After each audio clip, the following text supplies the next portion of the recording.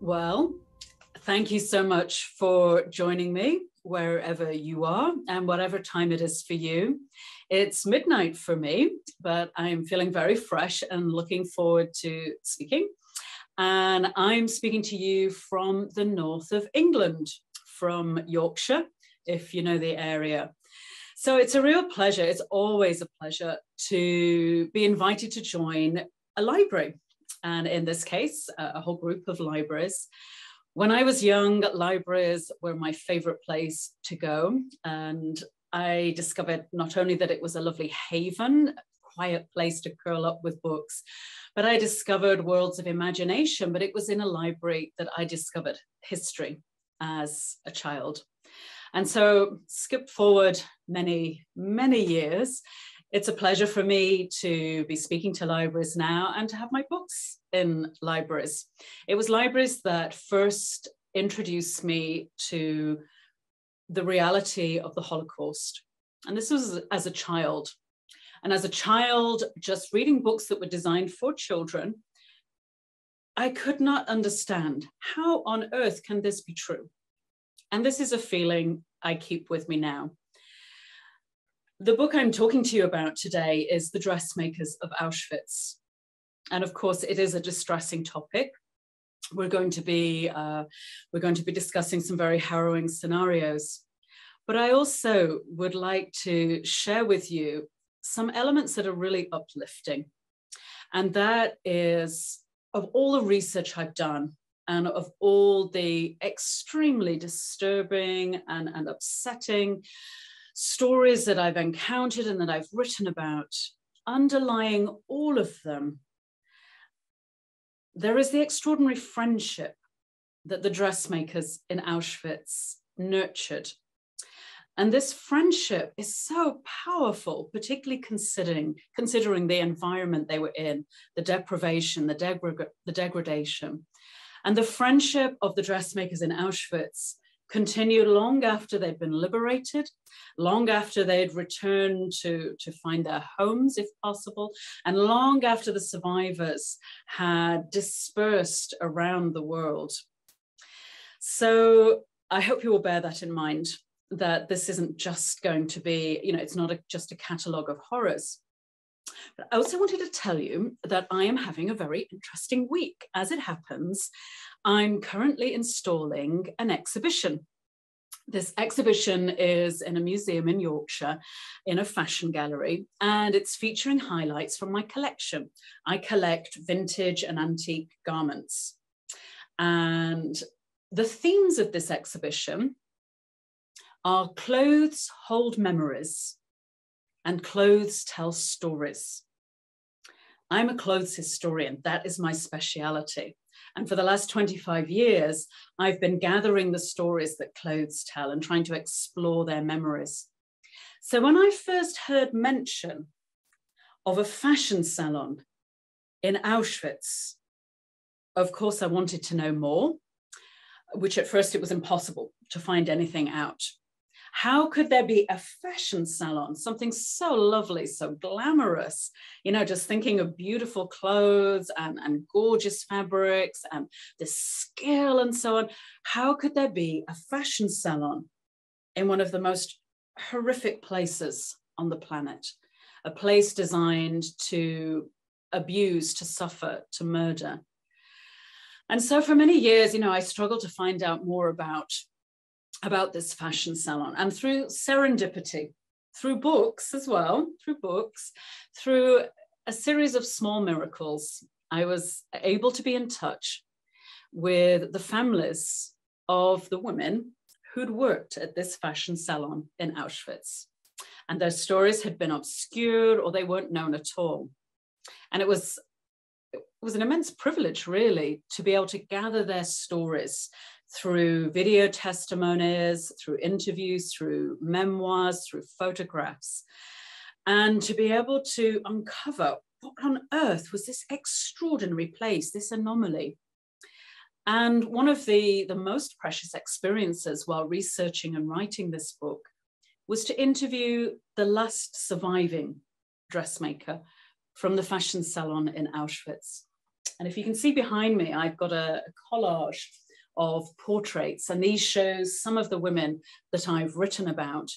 There were, uh, at its heyday in this fashion salon, there were about 25 prisoners sewing for the Nazi elite, not only for SS women in the camp itself, that includes the commandant's wife, the wives of other high ranking officers, it includes some of the guards, but it also includes elite Nazi women in Berlin. There was a big black order book in this fashion salon, and it was said that the very highest names in Berlin put in orders for beautiful garments from this fashion salon. And there was such a waiting list, there was such demand for the skills of these prisoners working in the, in the fashion salon that there was a six month waiting list for the Berlin clients. So even these, you know, these Berlin women, we can only speculate who they were because like so many documents, the order book itself was lost or destroyed when the camp was evacuated. But, you know, you have to wonder, was it Magda Goebbels? Was it Emma Goering? Was it Eva Braun? We don't know. But through all of this, like I said, there was a core of about 25 women and at, I think at, so far I've, I've tracked down 40 names of women and girls who passed through this, this salon.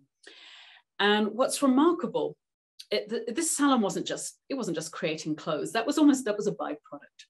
This salon became a haven. It became a place where Jewish women could live. For how long they didn't know, but it was a haven and it was also a hub of resistance. And that was something quite extraordinary to me.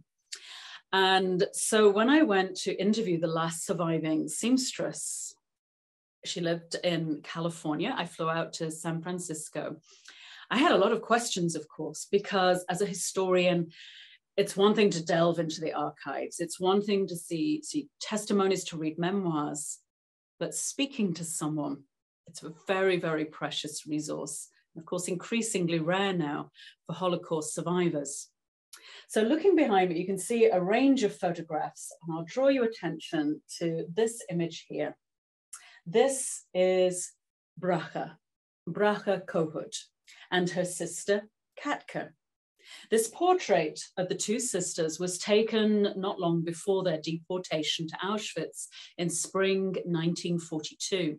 In fact, they were amongst the first official Jewish prisoners to be deported to Auschwitz on the Eichmann transports, and they were amongst the first ever women prisoners in Auschwitz too very young women. All of the women you're seeing here are very young.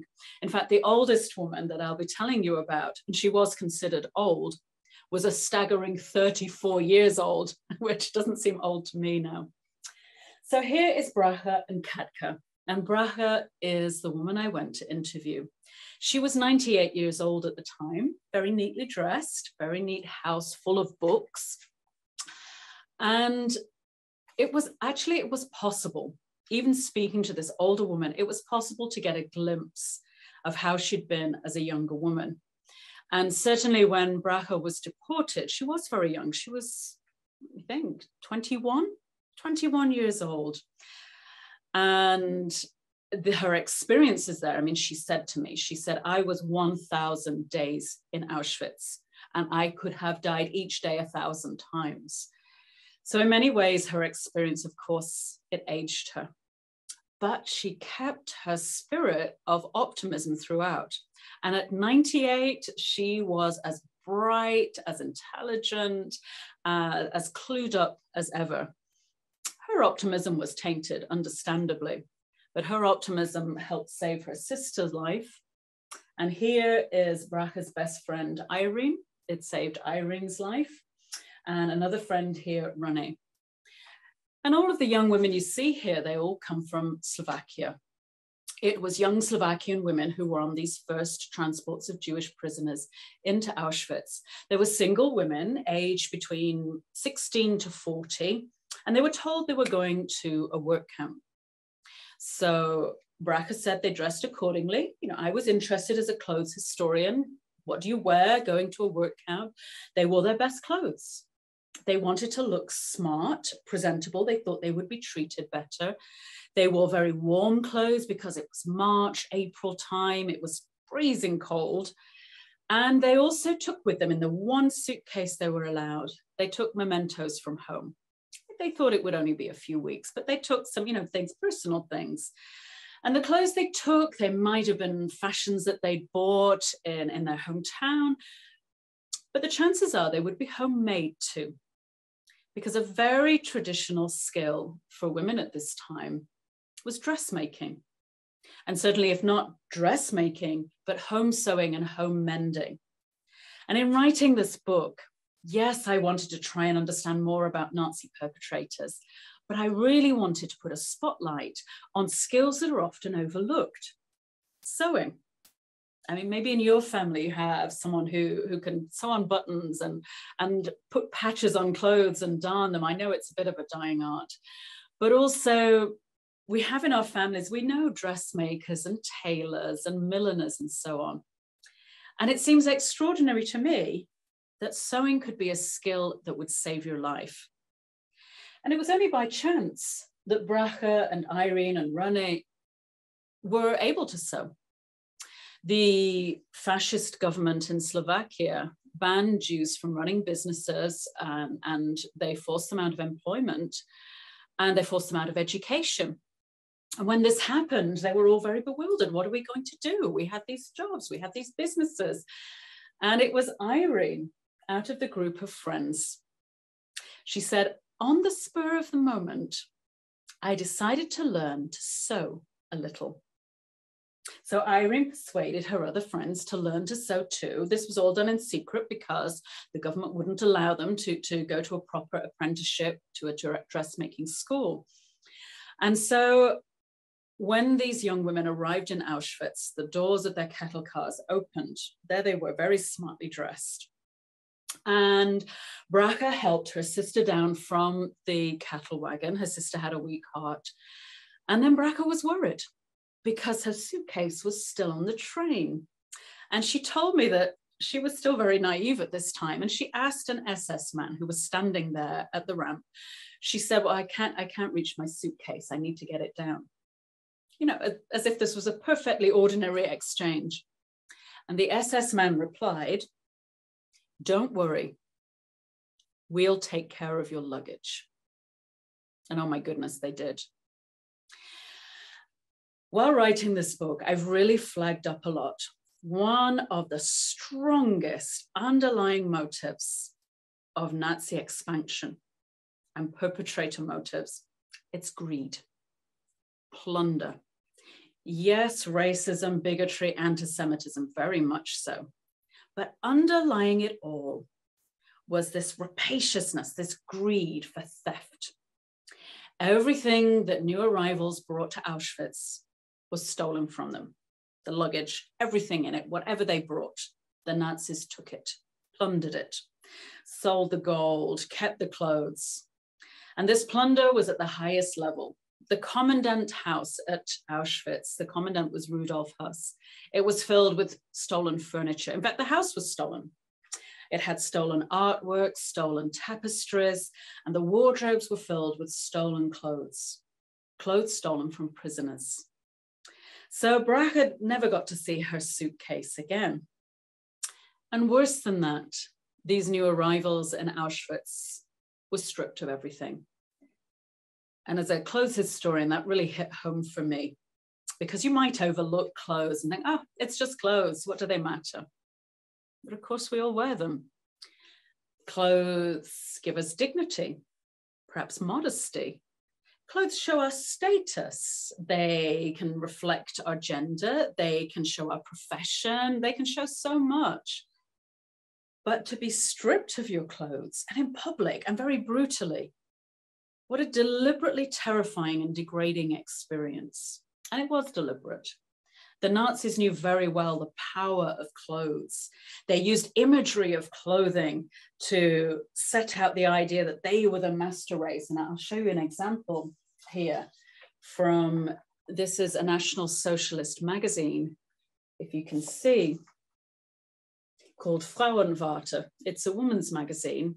And the image on the front shows the iconic Nazi male, monolithic, absolutely emotionless, and utterly military. So that was the image for men in the Third Reich, absolutely militarized. And for women, got plenty of, of women's magazines from this era. Here's fashion magazine, Du Mode, from 1942. Stylish, chic, and fairly respectable as well. So the Nazis knew all about clothes for imagery. They knew about pageantry and theatre in their big rallies. They knew how to wear uniforms and how to use clothes to project an image. But they also understood how clothing can be used to degrade.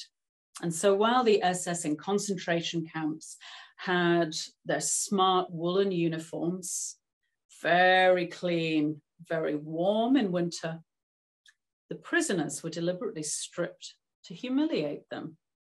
And then put in, in the case of these young women, they were put into old uniforms worn by murdered Russian POWs.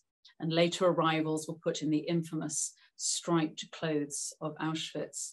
And it was to set them aside as not part of this master race. They were considered subhuman. So their clothing was supposed to reflect that. But I can tell you that many prisoners still, even in these worst of circumstances, if they could possibly get hold of a needle and thread, which were forbidden to prisoners, they used needle and thread, sometimes threads unraveled from the edge of their clothes, to try and smarten their appearance, to give themselves a feeling of dignity again, and perhaps hope they would be better treated if they looked a little more respectable. So these young women arriving in Auschwitz in spring 1942, they were first put to hard labor and some quite horrific, well, very horrific. Why am I, why am I glossing over it? The mortality rate was 80%. And this was even before the gas chambers were opened. In fact, they had to help build the gas chambers with their bare hands, demolishing buildings and so on. And they knew it was very unlikely they could survive. So inevitably, they looked for easier jobs, perhaps jobs that could be indoors. There were jobs sorting through the plunder that arrived daily in Auschwitz, opening suitcases and rifling through the clothes, sorting them into bundles to be sent back to Germany or to the commandant's house. And Bracha, who I went to interview, she was so resilient, she was so optimistic. She found herself a place in one of these plunder warehouses. She got her sister a place there too, and her friend Irene. Now, to give you a sense of why I keep focusing on clothes in this history, I'd like to show you two garments during this presentation today. They're both uh, original garments from my collection, and hopefully it will give you a sense of how clothes can hold memories and how they can give us a lot of clues about eras in the past. So the first one I'll show you, we are, is a very pretty dress. So if you can see, I hope the light catches the lovely shade of apple green here. It's a spring dress, so lovely spring green floral dress made of crepe fabric, silk crepe. And the dress dates to about 1939, very significant year in history. And it's a German dress. And looking at this dress, we can see that it's quite a skimpy cut. It's got a very narrow hem, very narrow seams. It's not flamboyant. And this definitely reflects the German economy in the late 1930s. Hitler, the National Socialists are gearing everything towards remilitarization. They're ready for war. They've already been expanding in Europe. They mean to take over everything. And so civilian items they're much harder to come by. Fabric is scarce, labor is scarce. And so that's why we have quite skimpy styles and it's reflected even in paper. So I can show you from one of the fashion magazines, when you have dressmaking magazines, you, if you know anything about dressmaking, you often get patterns that are many sheets of tissue paper with the outline of the pattern pieces on them. But because of war shortages in Germany, you would get one sheet of paper. And this one sheet of paper for dressmaking could have pattern pieces for up to 20 different garments. So just have a look at the overlay there. And so you can make a variety of outfits, but all of the outfits, all of the pattern pieces on one sheet of paper. So we're already getting a sense of the German economy and scarcity for civilians. But the Nazis themselves, particularly the higher ups, they were not troubled by scarcity because plunder was at the core of everything. In fact, Hermann Goering, I think it was 1937, he said, I intend to plunder and to do it thoroughly. But he wasn't the only one. Plunder was at the core of everything. And this dress is part of that history. And this dress looks very pretty, but it's actually saturated with anti Semitism. Just to give you a little bit of context here while I'm talking about Germany, because I've been talking about young women from Slovakia. This photo here, if you can see, move my chair. This is the, the, the old woman, the woman who's 34, right? Old. Her name is Hunya. Hunya uh, Storch, she was, she was born, but she became Hunya Volkmann. She married in the 1930s. And Hunya wasn't an accidental dressmaker. She wasn't one of these young women who said, Oh, what are we going to do? Let's learn to sew. Hunya loved sewing from childhood. She underwent a seven year apprenticeship. She was extremely talented. And growing up in a small town in Slovakia, she decided that no, she wanted to go to a big city, not Bratislava, not even Prague, which was a great fashion center. She headed west into Germany and she opened a fashion salon in the city of Leipzig. And Hunya dressed the elite of Leipzig, Jews and non-Jews. She was Jewish. These are, these are all Jewish women. And she did really well. She could flip through a fashion magazine and you could point out a design that you like and she could draw it. She didn't need a pattern. She could draw the pattern pieces on newspaper. That was it, cut them out. My grandmother was a dressmaker too, and that's how she worked. She could just see it, very clever. So Hunya was a really skilled designer as well as a maker and very popular in Leipzig, and she loved Leipzig. But she was in Germany in the 1930s, and she saw the, the rise of National Socialism, but she also saw Hitler come to power. And she saw how this began to affect everyday Jewish life the bullying, the restrictions, the humiliations, and the theft. So, what she didn't know was in 1933, just a few weeks after Hitler came to power, a group of businessmen met in a beer cellar in Berlin. And they established a federation of businesses called ADEFA. ADEFA is an acronym. And I can show you the ADEFA logo, or one of them. So this is a tie, by the way, a man's tie from Germany in the 1930s, just a plain tie, wool tie. But if we peek inside, it holds secrets. Clothes hold stories. So can you see there, ADEFA printed inside?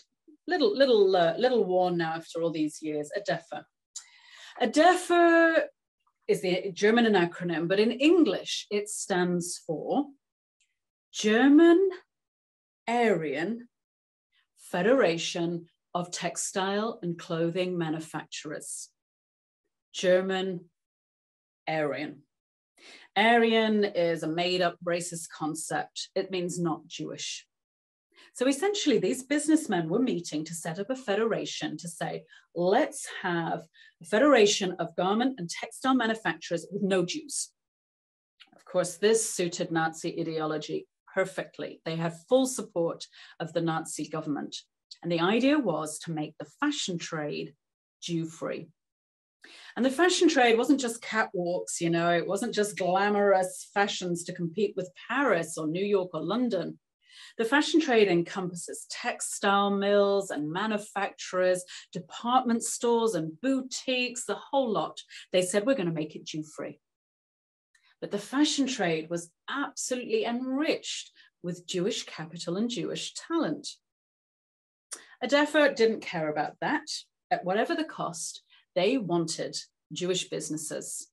And so they stole department stores and factories and boutiques and little milliners and the local tailors. And with the help of Nazi laws, which essentially ousted Jews from their own businesses, therefore was able to take over. And so this dress, this pretty green dress, bears the ADEFA label. And there it is. So even a pretty little dress like this can hold a really dark history. So Hunya, our very talented dressmaker in Leipzig, she was aware of all of this. She was aware of the Nazi brown shirts encouraging people to boycott Jewish shops. She was aware of increasing violence on the streets, of people going missing, being rounded up. She lived through the violence of the November pogroms called Kristallnacht. And she had to close her salon. In fact, the Nazis and organizations like ADEFA were so successful that not only did they render the fashion trade Jew free, they aimed to render the whole of Germany Jew free. In fact, the whole of the Third Reich Jew free.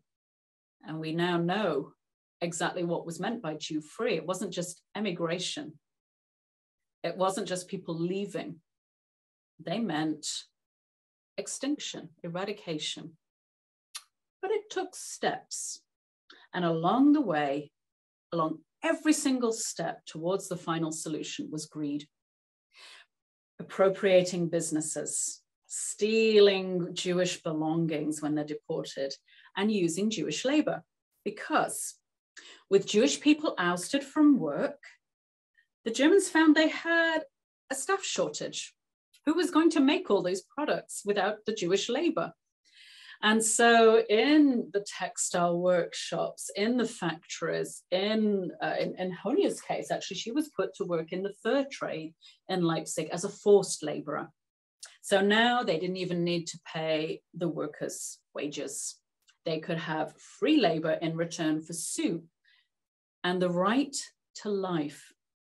And these workshops, there were thousands of them in ghettos, uh, in, in town, normal towns, in, factories, but also in the concentration camps. A huge part of the concentration camps was about money. It was about profit for the SS. And that's how Auschwitz started out. And so when these young women arrived in Auschwitz, and, and Hunya came a little later, she was on the last train of Jews deported from Leipzig in 1943. And uh, actually, when I, am smiling because I mean, Hunya is a remarkable person. I really, really enjoyed speaking with her relatives to learn more about her. And they had so many stories. When Hunya arrived at Auschwitz after a very harrowing journey in which she'd kept everyone's spirits up, she was traveling with her friend Ruth and Ruth's husband. And as the doors opened, you know, think of the lights and the dogs and the shouting, Ruth's husband turned to Ruth and said, Stick with Hunya. I have a feeling she'll make it. He was right. I mean, of course, luck luck played its part. And of all respondents I've seen who were asked, you know, who survived, you know, why did you survive? How could you survive? They said luck. Luck first and foremost. And then friendship. Because the whole aim of this arrival as a deportee to Auschwitz to confuse you, to shock you, to humiliate you, was to make you forget that you were a decent human being. It was so that you would feel ground down and subhuman as the Nazis wanted. But Hunya managed to retain her dignity and her humanity despite the humiliations. And she stood up to SS guards. It, I mean, it's extraordinary, really. And she inspired other people, you know, to have, have that resilience. So Hunya arrived in 1943. And like most other deportees, she suffered hunger, disease, and horrific working conditions until one day she was called for an audition. She had no idea what was going on. She was put in front of a sewing machine and told to sew. So she did. Now she was a brilliant seamstress. This is this is great. No problem passing the test. And she did pass, and miraculously, she was led out of Birkenau, the, the subcamp, the extension of Auschwitz, and she was marched to a beautiful white building just near the main gate in the Auschwitz main camp. And she was pushed into this building, and it was, she said, it was like heaven. It was clean. There were no lice, no filth, no feces on the floor. People were wearing clean clothes, prisoners. And some of them even had hair that was allowed to grow and they could wash. And she was there in filth, in rags, emaciated, desperate. She couldn't believe it. And then suddenly she was surrounded by friendly faces, friendly voices. These were friends from Slovakia, also prisoners. And they were in this building. They'd been selected to do special indoor work for the SS. They'd heard that Hunya was in Birkenau and they did their best to get her out. And she'd been selected to work in a fashion salon. She'd never heard of such a thing. How could you be, have a fashion salon in a death camp? So I need to perhaps backtrack a little and explain how on earth this fashion salon came to be. So I've talked about plunder. I've talked about Nazi greed. I've talked about the commandant's house and how it was filled with stolen belongings.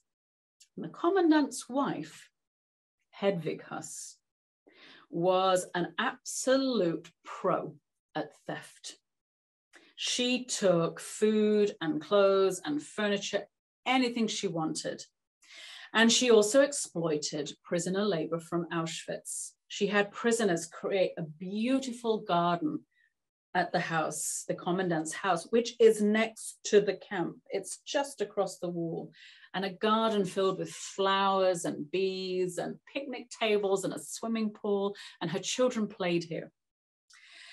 And so she used prisoner labor for anything, and she needed prisoners to make clothes for her.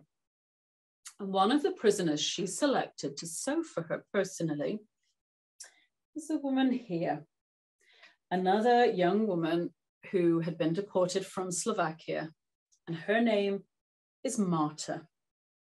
And Marta is the main reason that all of these young women survived, all of the women who passed through the fashion salon, those lucky enough to survive, it's thanks to Marta. Marta was 25 years old when she came to Auschwitz, quite a quiet woman. And she was a brilliant dressmaker brilliant. She had her own salon. She was specialized in cutting. So she was able to convert paper patterns into wonderful 3D garments. And Marta had come to the attention of the commandant's wife that she could sew. And she was put in the attic of the commandant's house. And here you could see out over the camp. It was so close. And here she sewed. And this was a very cushy job. This was nice. It was indoors. You could sometimes, the, the prisoners working in the commandant's kitchen would be able to smuggle her food, which was, you know, a lifesaver. But more importantly than that, Marta was a very courageous and very compassionate young woman. Although Auschwitz was designed to humiliate her and make her forget her humanity, she never did. She used her position to save lives. She said to the commandant's wife, Oh, there's too much sewing for me. I'm going to need someone else to help. And her friend Berta came to help. And then Berta said, Oh, we need a girl in the workshop, you know, in this room to pick up pins and just do little jobs. We'll get my uh, my little Rojika in, who was 14. And so there was another life. And then Marta said, Oh, you know, Frau Höss, I know someone who's a really good hairdresser. I know someone who's a good knitter. They could, she could knit baby clothes for you. And with this, Marta helped lift people out of the hell of Auschwitz-Birkenau into relative safety. And it's all relative because one mistake, you could be out. You could be in the gas chambers. Now, eventually, the other SS wives got so jealous of the work that Marta was doing for the commandant's wife, they said, Well, we want beautiful clothes too. And so Hedwig Höss, the commandant's wife, established a fashion salon in Auschwitz, just outside the main camp. And this is the fashion salon that I've been researching and talking to you about. And once in this salon, Marta made it her mission to rescue as many people as possible. And so she was able to draw Irene into the salon. And Irene said, Well, I can't really sew very well. Marta said, We'll teach you. And Irene said, Oh, my friend Bracha, she could work for you. Next in is Bracha. Bracha said, Oh, my sister Katka, she's a really good tailor. She could work. And, and so the salon grew. Now, I don't want you to think that, you know, this was all easy. Of course it wasn't. They were sewing for the SS. Their clients were wives of mass murderers, the very men who were destroying thousands of lives daily. And outside the walls of the salon, it was hell. Within the salon was clean and beautiful, gorgeous fabrics. The clients flicked through fashion magazines, chose their designs, and they had, I think what's so important, they had each other. These young women, and most of them were from Slovakia, you know, they were friends and relatives and so on. They could talk about home, they could share memories. They, I mean, they set up classes. Those who were religious were able to follow their religious observances. And they could remind themselves that they were human and they could do meaningful work. And when I went to interview Bracha, I asked her, I said, you know, you were sewing for the SS. What was that like to be crafting beautiful garments for these hideous perpetrators? And I said, you know, what was it like? What was Hedwig Höss like? And Bracha completely surprised me. She thought about it for a bit. What was Hedwig Höss, the commandant's wife, like? She said, well, she'd had four children. Her figure wasn't so good. You know, she just thought of it in terms of dressmaking. That wasn't the whole story. Of course, Bracha carried anger.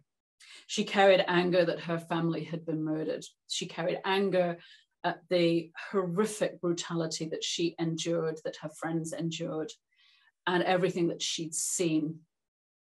But it was just that thought of Bracha saying, analyzing the commandant's wife, her figure, for how to dress her. And Bracha told me one anecdote that I, I can share now. There are many, many more in the book.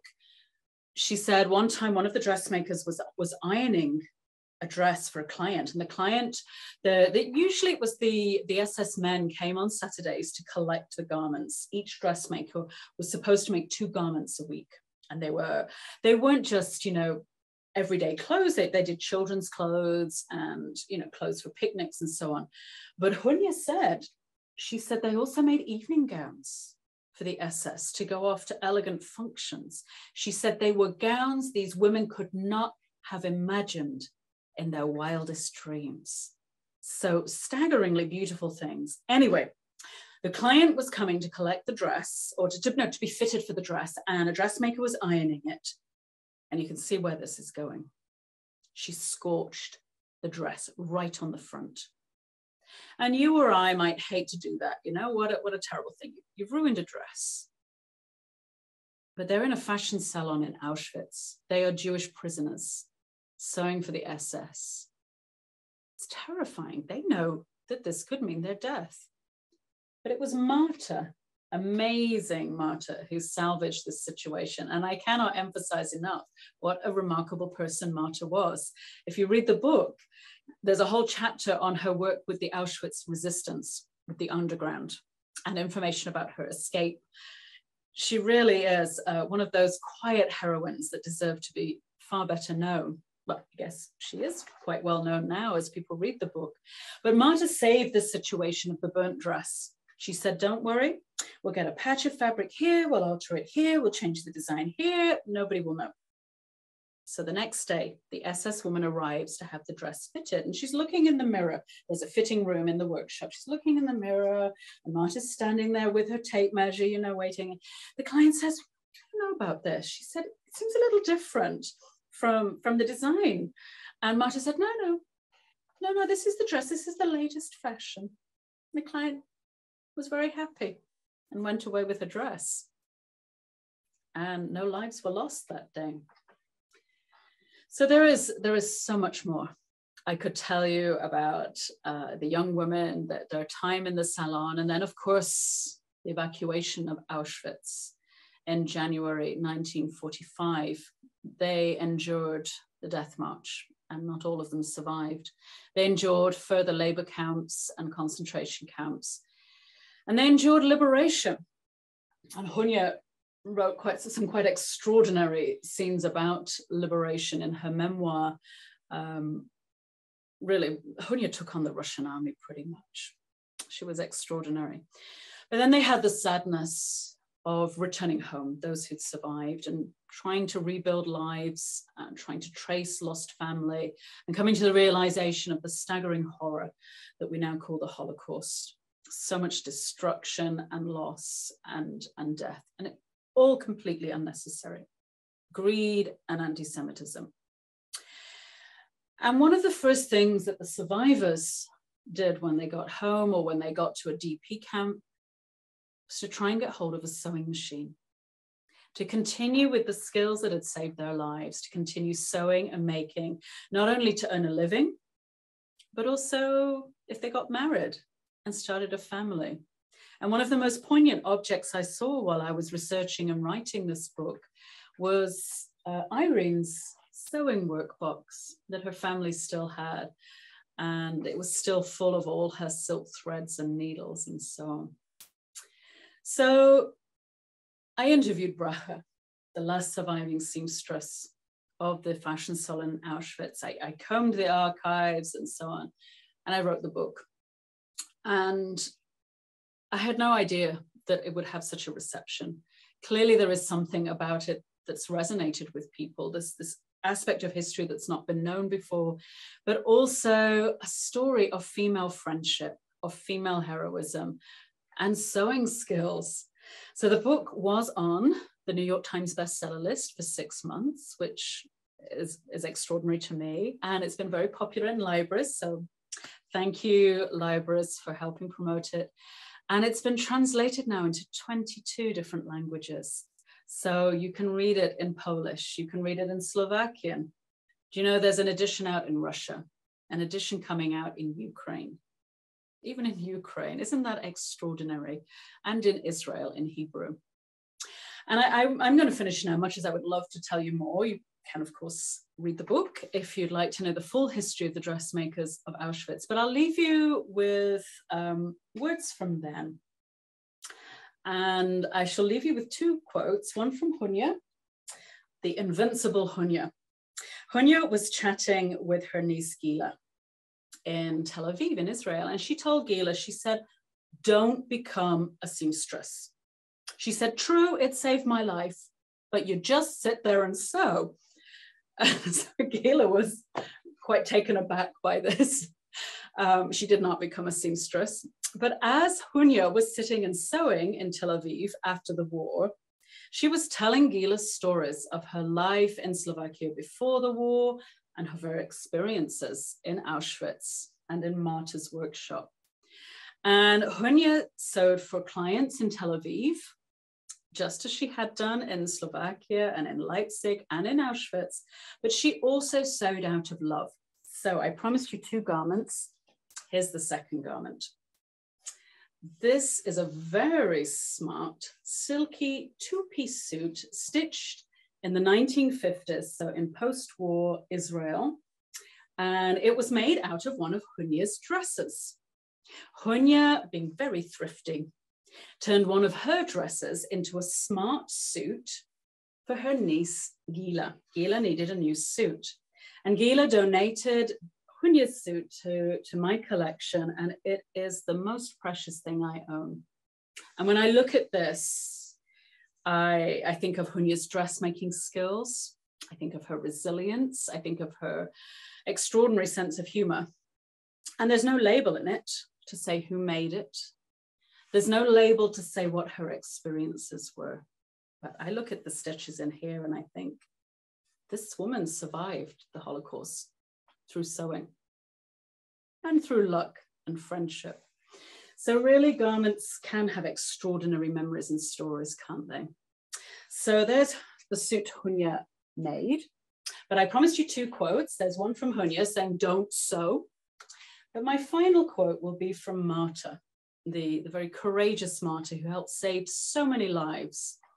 And Marta, after the war, said, Sewing saved my life. Why would I do anything else?